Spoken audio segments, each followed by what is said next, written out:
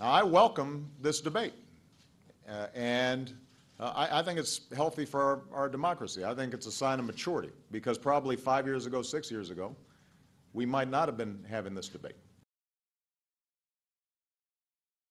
When it comes to telephone calls, nobody is listening to your telephone calls. I don't have to listen to your phone calls to know what you're doing.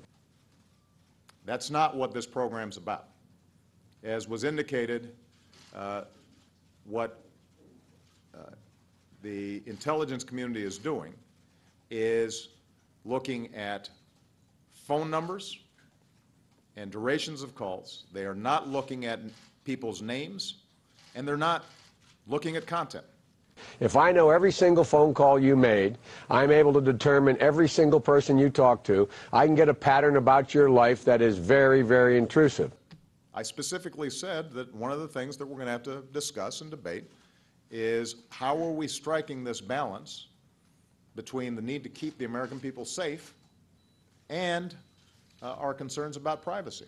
No one's arguing whether or not you have the right to go out and tap and go out, do everything you need to do to track down Al Qaeda. That's not the question here. But by sifting through this so called metadata, they may identify potential leads with respect to folks who might engage in terrorism. The real question here is what do they do with this information that they collect that does not have anything to do with Al Qaeda?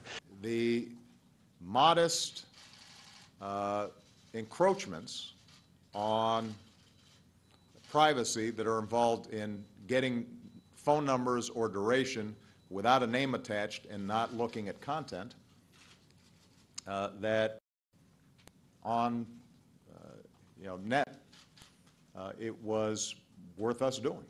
Now, uh, some other folks may have a different assessment of that. If it's true that 200 million Americans' phone calls were monitored uh, in terms of not listening to what they said, right. but to whom they spoke and who spoke to them, I don't know. That's, that's, the Congress should investigate this.